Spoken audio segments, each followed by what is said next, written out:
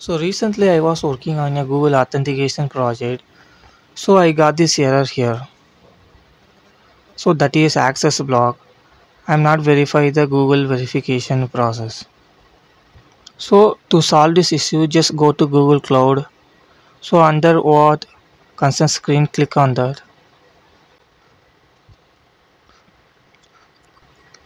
So if you scroll down a bit you can see add users under test users. So click on that. So just copy this email address right click on it and copy.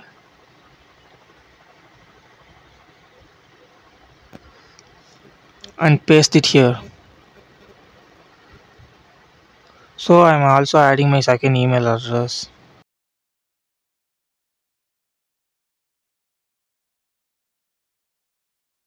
so just click on save.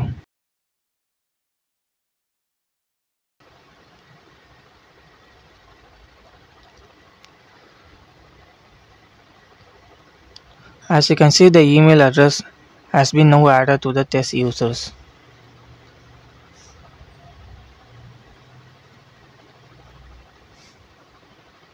So now just go to the project and refresh on it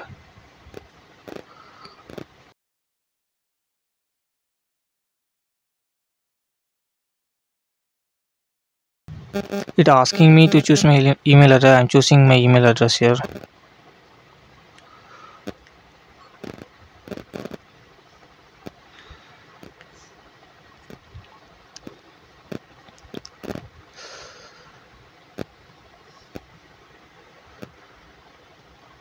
Just click on continue. So select all and uh, scroll down and click on the continue button now. As you can see the problem now has been resolved